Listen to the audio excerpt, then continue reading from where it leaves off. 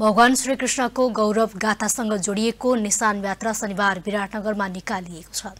फागु पूर्णिमाको पूर्व सन्ध्यामा होली खेल्दै भक्तजनहरू निशान यात्रामा सहभागी भएर विराटनगर महानगरपालिका वडा नम्बर दुई स्थित श्याम मन्दिरबाट भगवान श्रीकृष्णको तस्विरसहित निशान यात्राले नगरको विभिन्न भागको परिक्रमा गरेको थियो। फागु पर्वलाई भगवान श्रीकृष्णले पनि अत्यन्त उत्साहका साथ मनाउने गरेको धार्मिक मान्यता छ। निशान यात्रामा सहभागीहरूले भारतको राजस्थान स्थित खाटो श्याम मन्दिरमा गएर निशान चढाउने बताइएको छ।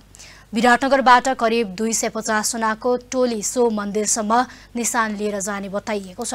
उनीहरूले त्यहाँ करिब सत्र किलोमिटर पैदल यात्रा गर्दै खाटो श्याम मन्दिरमा निशान चढाउने स्थानीय भक्तजनहरूले बताएका छन्।